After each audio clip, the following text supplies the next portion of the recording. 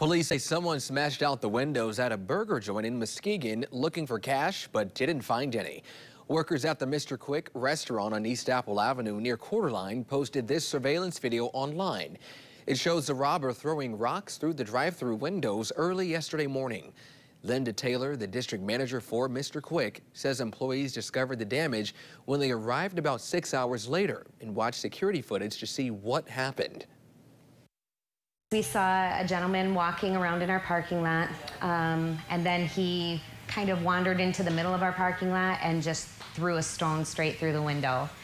Um, he then went to our other window and threw a rock through that. Um, came back to the back window, punched the rest of that window out, and reached in to grab the cash register. Um, then went to the next one and did the exact same thing, reached for the cash register, and then just walked away. And the cash registers were empty. The cash registers were empty. He walked away with nothing.